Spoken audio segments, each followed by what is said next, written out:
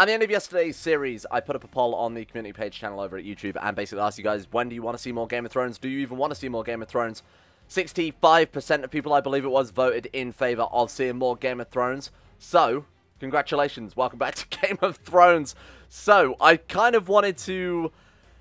I, I kind of wanted to do something unique, something different. We've spent a lot of our playthroughs in a Game of Thrones messing around in Essos for the most part. We, we did a sort of a R'hllor run, we did a Gogosasi pirate run, we've done a Shy, then of course the Storm Kings of last series. I was trying to think of a great start. I was thinking maybe we're playing down in Dorne, maybe we go beyond the wall, and then I thought, last series, we kind of engineered our own pretty great story, huh? The Forgotten House, if you will.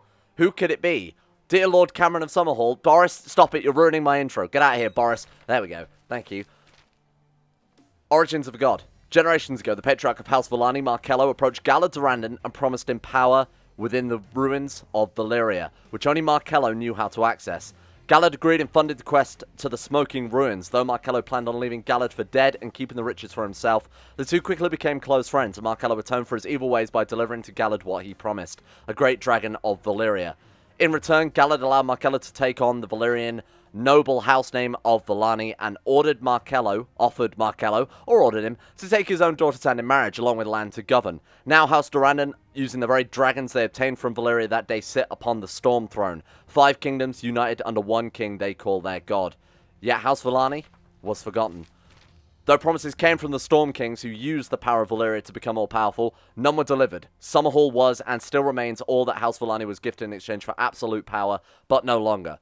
We've sat quietly as our Durrandon cousins grew fat and we remained small. We will carve out our own greatness from the lands which helped them carve out theirs. For we have the blood of the storm and the blood of the Dragon Lords of Valyria. Fire and Fury. That's right, we're playing as House Vallani. The guys that we kind of, uh, I kind of forgot about midway through the series. So if you haven't seen the previous Storm King series, this is going to be very confusing for you. We played as House Durrandon, we restored the Storm King worship there. We have, it's nice to see that that's still completely fucked up. Gods of the Storm reformed uh, under God King Boris of House Durrandon. Here we are. And uh, this is post his conquest. Gods of the Storm reform. They're the dominant religion in Westeros, bowing to God King Boris as their king. Why is he the Pale Spider? What has he been up to? Slide blood of God King Boris. Did he seriously forge a bloodline in the time it took me to set this scenario up? Oh, Boris. Classic Boris, huh? Oh, good old Boris setting up a bloodline in about two years flat. Nice work. Anyway, one of the characters we were playing as at the very start of the campaign, called Galad Durrandon, met a man called, uh, what was his name? Horace Vallani, something like that. The guy whose name I just said it multiple times. And they together went to Valyria. Boris got a dragon out of it and conquested all of this. Yet House Vallani was forgotten. All they got was a single barony. So I thought, why not lead them to greatness? There was a suggestion I saw loads and loads and loads during the polls and during the comment section. Restore Valyria. Everybody wanted the restoration of Valyria. To be fair, we've not actually ever done that before, and it seems like a pretty good playthrough idea. So, if we look over to Valyria, what is normally the Smoking Ruin is actually uh, a habitable state, if not a little bit dense. That's my only complaint about this. This is the, uh, obviously, Colonized Valyria submod here. Full list of all the changes that have happened since the last mod pack will be available in the description. My only complaint about this is it's a little bit too dense, right? There are a lot of different provinces. They are all, of course, of ruin because Valyria is of ruin. The Smoking Sea remains of ruin. That's where the, I guess, the, the there were originally nine volcanoes in Valyria, and then they all set off simultaneously, which which bathed it all in ash and caused a load of earthquakes and ruined Valyria. Essentially, that that was the doom.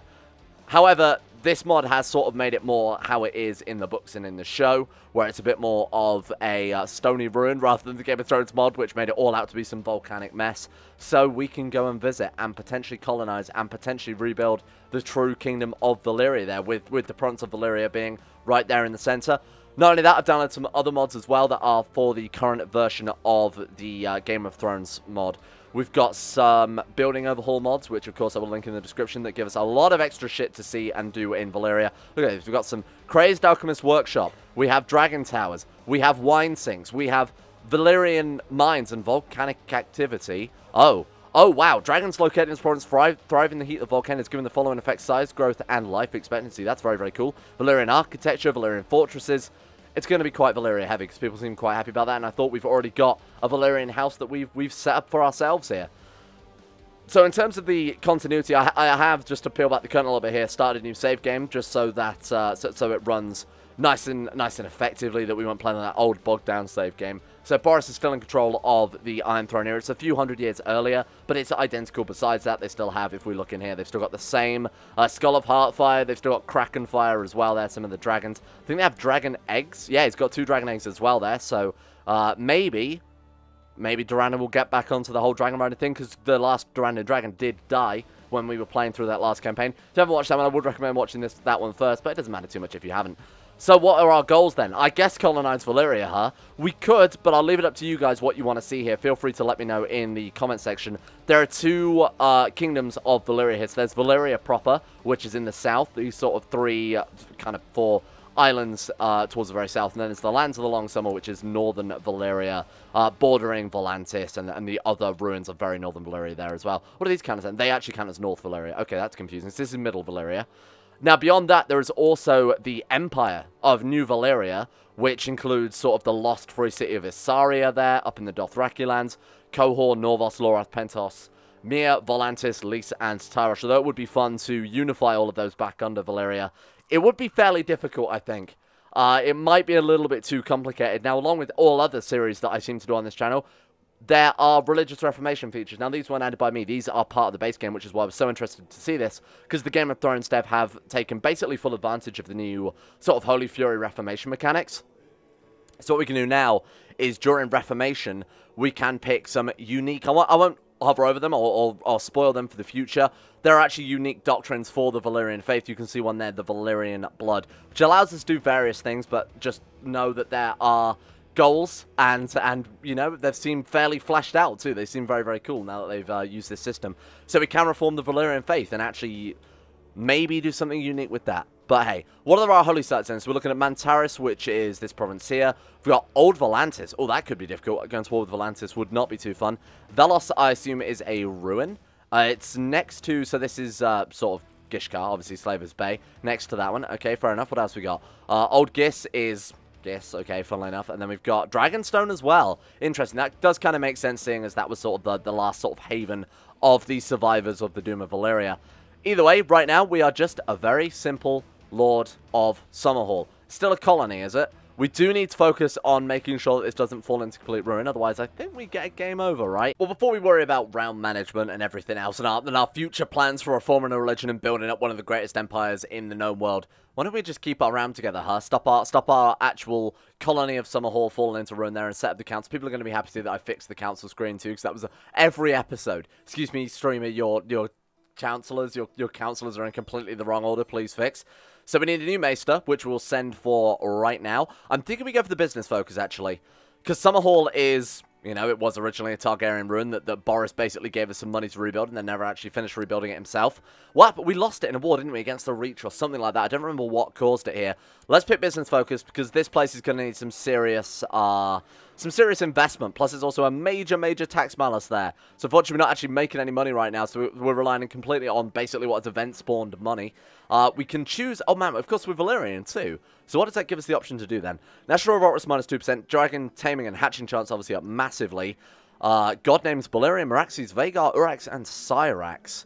Uh, we dislike the others, demons, and dark spirits. I mean, that's true of everyone, right? Have a plus 5 opinion boost with all other religions due to their religious tolerance. Can choose another religion group to be their syncretic faith and receive a plus 10 opinion boost with its members. That might be a good idea. Um, if we maybe pick Gods of the Storm as our syncretic religion, seeing as we are fully surrounded on all sides by, funnily enough, the Gods of the Storm. Although saying that actually might not be the best idea because we have the blood of the Storm Kings. We're a descendant of both Valyria and, of course, House Durrandon. So we do have that uh, Stormlander opinion plus five. Do we not have, like, Gods of the Storm opinion? Are you serious? Did I, not? I, I think I need to add that in the future, but we'll worry about that for for uh, for for long distant future. By which I mean tomorrow's episode. I'll get that done. So we want to choose a syncretic faith basically whenever we get the offer to. Can we see the dragons? What have we got? Uh, dragon riders, fully known. So there are no dragons. We've got some baby dragons here. Uh, the other known owners of the dragon eggs are God King, Boris located in King's Landing. So I think these baby dragons are in fact Drogon, Viserion, and the other one. Yeah, well, I'm not really surprised. Wait, what? Materion of King's Landing. Oh shit, he's already got a dragon. Oh, is it? It's locked in the dragon pit, right? So it's, it's untamed. Okay, then. So he's already hatched a dragon egg. Well, that was bloody quick. Um, what's he got then? Yeah, Materion's whip there. Fantastic. Okay. So, like I was saying, because of the way I've set this up, because we are a couple hundred years back, the, the Daenerys' dragons are still kicking around. I hope Daenerys isn't still kicking around, otherwise that could cause some issues, huh?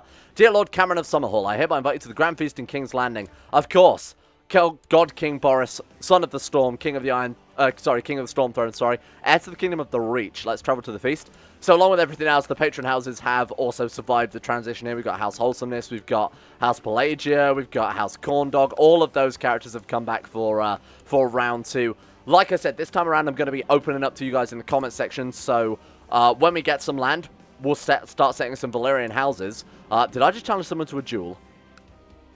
That may have been a horrible mistake. God King Boris committed so much gold to this extravagant feast. In particular, I was impressed by the large centerpiece on the die table. It represented a green lawn surrounded with large peacocks, feathers, green branches to which, how impressive. We don't really care about your, your feast, Boris. Well, I mean, we do. It's a very nice feast. He's taken off his storm crown and instead he's decided to wear the crown of who? Joffrey. For the love of God. Well, I suppose it is somewhat stag-like, right? Because Joffrey thought he was a Baratheon, at least. We had, and he also got Stannis' crown. Fantastic. So what was I saying before he rudely interrupted us? honestly don't remember now. It doesn't matter too much anyway. So let's send for a Maester. Uh, how much? Oh, shit. Of course we can't send for a Maester because we're not earning any goddamn money. Right. Okay. Uh, death of Rosby. So Lord Giles Tarth has taken over Rosby.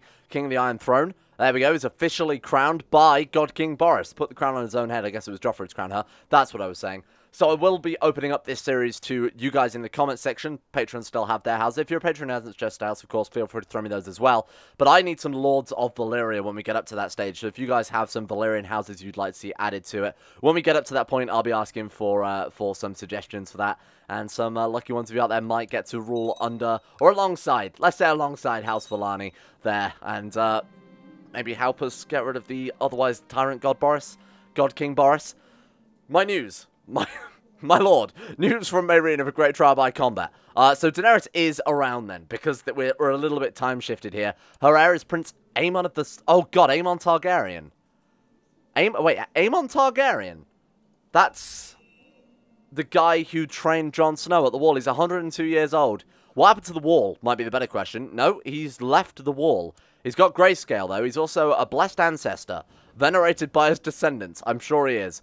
Okay, fantastic. It's nice to see everything's more or less survived the transition. But the, the political map, more or less the same. So we've got our, our High Lords that we set up more or less on uh, last series there. We've got like River Run, obviously, as a High Lord. And these guys are all Stormlanders as well. North and Dorne, both independent from the Iron Throne. Another thing I've installed as well that I forgot to mention is uh, if we go over to this one the economy map mode, we have a full trade route. So this is another mod that was updated for the current version of the Game of Thrones mod.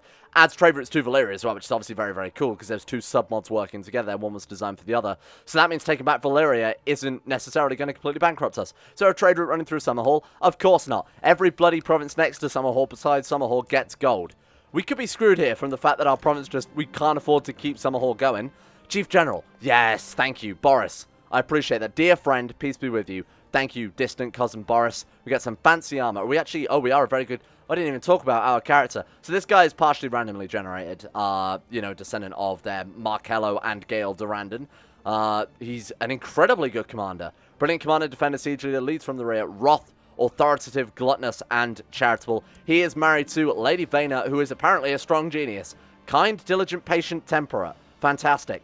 Lord Cameron is suspiciously good, but I promise you, I didn't fuck around with that character. I wonder if, uh, because there's a mod I used to set up these scenarios. Oh, good. Aegon Targaryen invades. A young silver-haired man has landed in Westeros, claiming to be Aegon the Sixth, trueborn son of Rhaegar Targaryen and rightful king of the Seven Kingdoms. It's believed that he perished in the Red Keep at the hands of Gregor Clegane during the War of the Usurper, along with his sister Rhaenys and mother Elia Martell. It is purported that it was not Aegon who perished there, but some some peasant baby who was put in Aegon's place. Um, I mean, obviously not. Aegon is dead. He's a mummer's dragon. Clearly, we can't. We we have to support the throne on this one. This is this is uh, a rival Valyrian setup trying to take the Storm Throne from our good ancestors. Oh my God! People are actually backed. People are backing Aegon. Is that the traitorous House Tarly backing Aegon's uh, Aegon's Landing? Wow. Okay. So this is from the books, actually. This isn't in the show, but it does exist in the books that uh, there is there is Aegon of Essos, supposedly Varys and Illyrio Mopatis of Pentos swap this kid out as a baby, and he is the, the true son of Rhaegar Targaryen. Obviously, in the show, spoilers for Game of Thrones if you haven't seen it, but I don't know what you expect to come in here. They rolled it into Jon Snow's character, um, whereas in this one he is still, well, they might still do it in the books as well, obviously, but uh, this kid, it, it's sort of debatable whether or not he is actually Aegon or whether he's like Illyrio's bastard son is uh, is a uh, is a theory behind that. Either way, he's a threat right now, and hopefully Boris doesn't immediately lose his seat, because that would sort of ruin the campaign pretty early. Well, it wouldn't ruin it, but it would certainly be uh, subverting my expectations. Amid all the chaos, and amid us being named Chief General, all that nonsense, he chose fit to give us Hadlow Keep for services rendered. I don't know whether it's because... I mean, this is part of King's Landing. I don't know why he gave it to us. Summerfield? Uh... Yeah, I don't know why. I guess it's because there's no incumbent of it already, or maybe because it's under the Stormlands or something weird's happened. It's it's the Mega War system that we all know and love, right? So where is little Aegon then? 96%. Oh my god, in a sec, Do you see that? She immediately went to 96. Well, this is absolutely no threat in that case. So how many troops did he even turn up with? A thousand men. It was it was an honest, good effort. Unfortunately, he is now in prison. Um, he's been transferred to Pentos. Why would you do? Oh, they ransomed him. No, they didn't ransom him because he's clearly in prison in Oh, he's still in prison for us, but his liege is now Pentos. Right, got it. So, so Illyrio and would have to pay the ransom on him if he wanted it. That would make a lot of sense.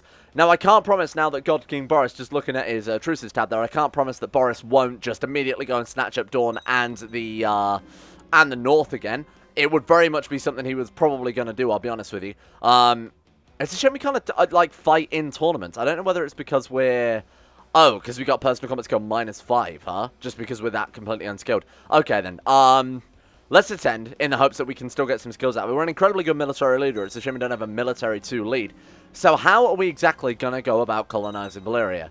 Well, we're obviously going to need a province on the coast. Otherwise, that's not going to work because we're not going to have any boats. So I think we're going to have to start working maybe towards grabbing up the Red Watch or something from... Uh, Lord G Julian, Gulian uh, Comrade there. We're going to have to go and grab that house from him, although he's also kind of a powerhouse too there. Knighted.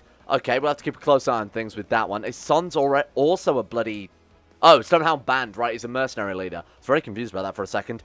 Um, we're not challenging anyone to a duel, thank you very much, because we have minus five personal combat. We, we need to move to the coast, is, is what I'm getting at, so that obviously we can start building ourselves up. Not only that, a lot of these building mods that we've got are specifically installed because, you know, I know that we need to play a little bit tall here, right? We need to focus on uh, building up our own economy, building up our troops a little bit. We, we can't just go and invade Valyria. We, there needs to be more to it than that, um, both in terms of obviously gameplay planning, but also story as well. I think we'll have to land in Volantis first either way, or at least get something nearby, because you can only colonize provinces that share a direct border with you.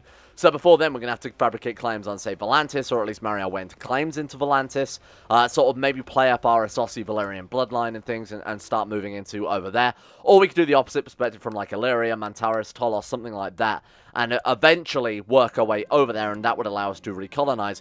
But you've got to remember, we're still a vassal of the of the Storm Throne. We'll still be a vassal of King Boris. So at that stage, we have to decide, do we want true freedom? Do we want House Vallani to really sort of um, take their own destiny into their hands for once in their goddamn life and overthrow King Boris or at least depose him and become independent. But of course we make an enemy for life, then that would throw us definitely straight into a blood feud.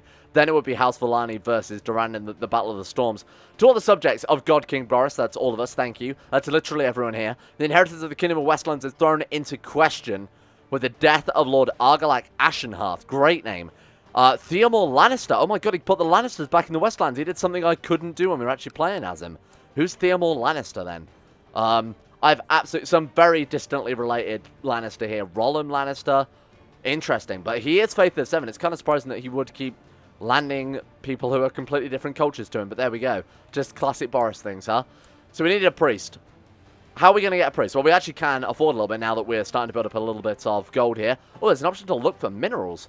You want to know if there are valuable resources at your capital, so I believe this is the building mod that adds this, and again, the ability to play tall and sort of, there's a bit more of an economy background to this one, right? We might want to grab, even though they're not coastal, certain of the sites near us, like, like Thornton, for example, because it has that trade route, and that will give us a bit more capital. We can play a little more of a, an easier time playing tall without the need for a goddamn dragon, because I don't think I could deal with another damn dragon playthrough.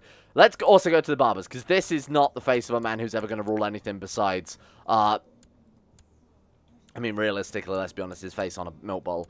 Uh, let's go for... Oh my god, that, that haircut's so good. that haircut is so... There we go. That haircut beard combo Business at 5, My Chemical Romance at 8. Perfect, thank you very much. What else can we do here? Uh, tame a dragon, build a war chest. A tame a dragon, that seems to be a little bit jumping the gun there. Have a son. I think have a son is a great idea. He's 19, his wife is 19. Uh, our ambition is... as a, We're still on carousing. Shit. Did I pick carousing and not business?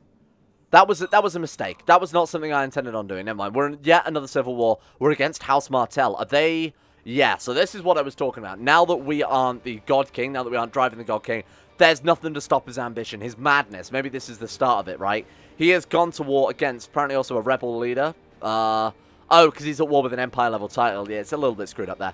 But he has declared the Storm Throne Dornish de War over Dorne on Prince Doran the Wise of House Martell. So he's going to try and reunify the Seven Kingdoms under the Storm Throne.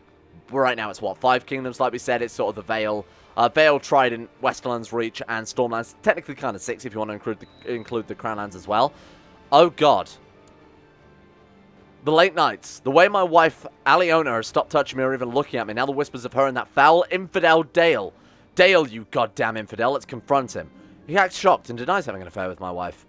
Pay to have them both watched, or we say, oh, okay then. Suspected adultery, seducing my spouse. Uh, gains depressed or paranoid. Paranoid would be great, but we'll pay to have them both watched instead, huh? Hopefully it doesn't cost us too much gold, because we need to obviously keep Summerhall, you know, not completely in ruins. Let's also hire, while we're on the subject of spending all my money on things that aren't particularly important, let's hire a Storm Singer. Jelliana. Uh, just so that we can, we're not going to obviously try and proselytize, you know, the, the, the wonders of the Valyrian faith here in the middle of the Stormlands. That wouldn't make much sense, and it also definitely would not work, given that they've got a Storm Stormguard ruling their Stormy Throne. Um, I guess we'll just perform charity, try and keep people quite happy about us.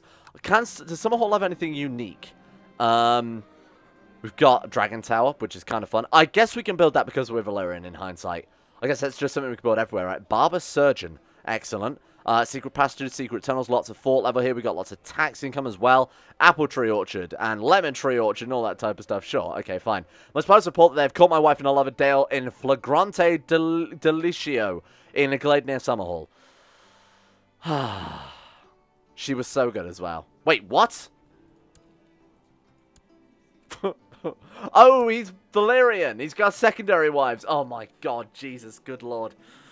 Blew my mind then for a second. Okay, denounce filth. Denounce them both publicly. Absolute filth. Can we put them in prison? Can we ransom them off? Yes, there we go. Get her up. Go, get out of here. Right. Oh, she's already fled our court to the court of Sir Mendel. Dale.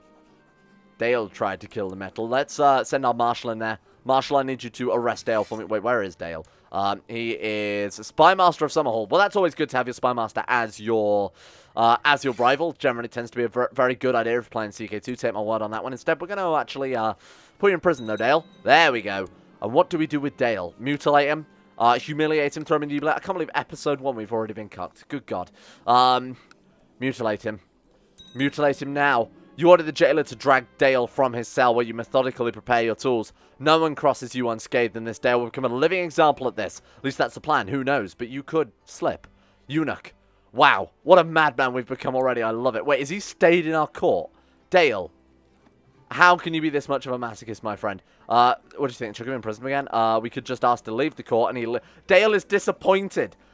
What did he want more? Please, sir, can I have another? Or we can invite him carousing. Let's invite everybody carousing then. Why the hell not? Let's invite the entire goddamn court. Can we invite... He's our friend, right? So we can invite you carousing. No, apparently not. Um, is he busy?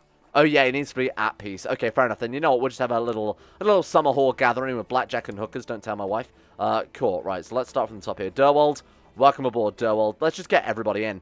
Now, what's interesting is our wife is spawned in High Valyrian, or our courtiers. Oh, oh, no, wait, that's our wife as well. Oh, shit, our courtiers are. Oh, some are. Okay, we've got a weird mix here. So the ones that are our concubines, I wonder if that's when we present debutante or something. Whether or not those guys come in High Valyrian instead. It doesn't matter because we can't, like, train our child in the ways of High Valyrian. You can't convert, uh, culture to High Valyrian, as far as I know. F feel free to correct me on that. But last time, you know, we played this, people were saying that we couldn't do that. So it's not as if we can flip from a saucy Valyrian to High Valyrian. I believe, though, that is one of the religious doctrines that we can go for, is to is to add something like that to the ability of House Valane or House Valani so that we become you know, an official Dragon Lord, so to speak, who, has that High Valyrian bloodline, and we have the blood of the Dragon Lords and all that garbage going on as well here. Should I be worried that there's a... Oh, man, everybody wants to come to our... Hey, there we go. What a carousing. Holy shit. Do, should we be worried that, um... you know, Dorne are right there. I, I mean, literally on our border, and probably going to be one of the first targets if they sw swing through. To be honest, they're probably going to lose. How many men have they got? How many men has Doran Martell got? 17,000 men. Boris has 25,000 men, and the only people who haven't backed him in this war are Brightwater Keep, House Florent there, because uh, they're Brelaw. Oh my god, I bet there's a lot of Faith of the Seven. Wait, I thought the whole round would. Oh, man, okay. Okay, right, that looks a little more believable, huh? So we got Faith of the Seven, we got Faith of the Seven. Why did it say last time it was all one big blob? Well, that looks a bit more believable, though. Boris has taken a big chunk out of Westeros. I guess maybe they're converting back? What has he done that's lowered his moral authority this much? Bob, you better not ruin 200 years of hard work, my friend, otherwise I'll be livid. I also think as soon as possible, we probably want to jump back over to the Citadel. Playing Tor for a while is definitely something we've got to focus on, and the Citadel, from what we, from the little bit that we did in the last series, was incredibly powerful, right? It was insanely good. Oh god, we're now known as the Mutilator. Episode 1. We've cut off a man's balls, we're now known as the Mutilator of Summerhall. Incredible, great, fantastic start. It's great to spend time carousing in merry company. While the cut's being refilled, Parocco brings a strange ball with little decorated pieces. Play for honour. Hail to the Lord. We become an apprentice board game, and one of the better traits you can get is obviously Game Master. I quite like that one, and uh, helps mitigate certain quite difficult events. But we'll not spoil that just in case we do get it. Sweet, we can actually get Game Master. Oh shit, okay. Um, Narrowflank plus 30% there, Marsh plus 1, Diplomacy plus 2, Sintrate. Oh, yeah, let's take it. Why not? It, it's rare that... I mean, I'm trying to think, are there better ways of life than, or better hobbies, or what is it called? Lifestyle. That's it. Lifestyle traits better than Game Master. Strategist, probably. Uh, Master Seducer is also pretty good, but besides that, I do like Game Master. Maybe Architect at a push. This one is this one is quite a nice one to get. So as soon as possible, I'd really love to join the Citadel. Now, for that, we need, obviously, Scholar, Astronomer, Cartographer. We can get that from the uh, Scholarship focus just for a little while. When can we flip over? That might be something for tomorrow, yeah. 3404. It's actually not too long away. Like another year and three months, we can flip over to... Uh, well, year and four months. We can flip... A year and five months. We can flip over to uh, Scholarship and basically guarantee our way into the Citadel. We're still very, very young. So if we start that early enough, we're going to be a super, super powerful Maester with 100,000 links by the time we finish up. So here's an interesting little button that I have no idea what that means. Sneak out. Seek, sneak out and have some fun. Um, okay, well first things first, we'll send for a Maester from the Citadel and actually, uh, actually start that off first. Uh, Citadel's right, thanks very much. We don't have an air or anything yet. Maybe we should focus on that before we start sneaking off, just in case we die. Set house words. Oh, absolutely, okay. Um, house words. UI missing text. What the hell do I type here?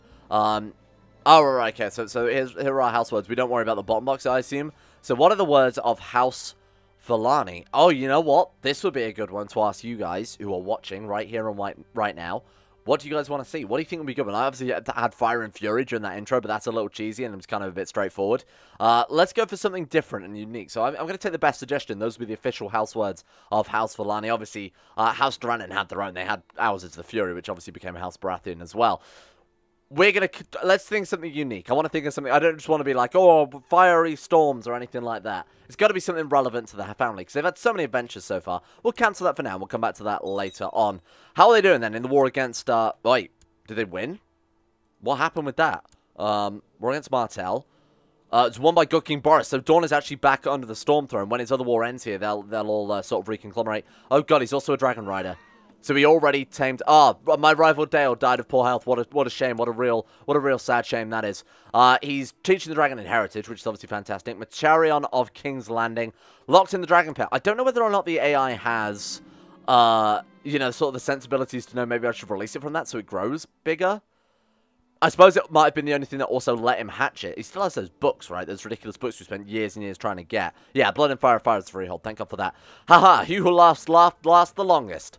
Laughs, laugh, laugh. Finally, that driveling coward Dale has left this fine earth. Well, everything will definitely be better without him. Do we become kind, or do we dig up his head, separate the skin from flesh and the bone, and then put it on our mantelpiece? Well, obviously, Lord Cameron the Mutilator, he's not a kind man. We shall mutilate more. We shall mutilate yet another day. Finally, with one last swing the cleaver, Dale's ugly head is severed from his equally disgusting body. I roll up in a piece of cloth, stash it in my satchel, and escape undetected into the night.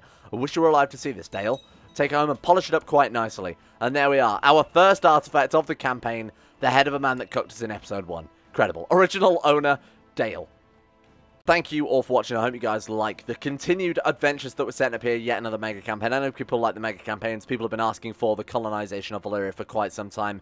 So hopefully that is going to be something you guys are into as well. Plus, it's kind of nice to see Boris back as well. I didn't think Boris really got a fair shake there. Did the time lapse and then what? He just died of old age. That was a bit garbage. So let's see if he can actually achieve anything with with what's left of his life. I mean, he's already grabbed Dorne, which is insane. So good luck, Boris. And you know who else deserves some good luck? It's the insane top tier level patrons who made the series possible in the first place. So like I said, if you guys want your houses in the game and don't have them already in the game, all the ones from last series are still in it. I still need to land House Pearl and House Torlamu as well. Those are the two that, I, I think it was those two that lost their houses before the end of last episode. I would get those guys in. For the rest of you, your houses are still there, so don't worry about it too much. Let's give a shout out to Alpha Scuff, Asuna Kirito, Atmosis, Average Gamer 419, Baniel, Blurry Bunny, Sidini, Conspired Crazy Pat, Croesus, Danny Good, Donald, Eric B, Escape, Facundo Vasquez, Fungus King, Gogolus, Harik, Heydog, Jimbo, Josh Lindeen, Tesla, Justin Wallace, Caden Carter, Michael Mullen, Muskratful, Nathan Flores, Necrophilim, Pelvis Presley, Circle the Swede, Saragon, Toby Cruz, Tom Terry 18, Tyler Kendall, Vacuous Backers, and Zazzy 7011. If you are a patron who's subscribed or whatever it is, patronized over the past couple of days on Patreon, I haven't had an updated list yet, but I will get that hopefully before tomorrow. And then at the start of the new month, obviously we get a new one anyway, so it'll only be a tough couple of days maximum. Big shout out to you guys as well, though. I know there have been a couple of extra people. And a thank you as well to Astro, Adam Person, Akari, Andrew Wilson, Arachnid44, Betmas Max, Sidini, Chris, David Van Diepen, Don, Dunconny2 and 7, Fraser Brennan, Gabriel Faulkner, Gabriel Van Ders, Gaz, GDWK Run, Genji Zerka, Gray, Haji Damar, Hancock, Harry McGowan, Icy the Grey, Israel, Jay Lara, James Barnes, Yoran DeVries, Jessica Smith, John Holiday, Johnny No, Jordan Campbell, Joseph Beard, Justin Plock, Justin Walters, Lemon Stark, Llewellyn Thomas, Matthew, Nathan Flores, Nathaniel Lindberg, Nick, Noah Gallimore, Nixie, Pan Samu, Panther Pearl, Smirtworm, The Insane Pickle, Vernon Meow, Will Wade, Wolfie, and Zico 2. Thank you all for your support.